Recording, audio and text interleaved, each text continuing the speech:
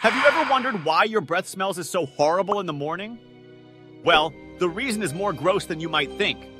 You see, when you sleep, you produce less saliva, and this makes your mouth dry, which creates an environment that bacteria thrive in.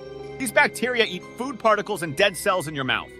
And after they eat, they leave waste that has sulfur in it, which is why your mouth has that strong morning breath.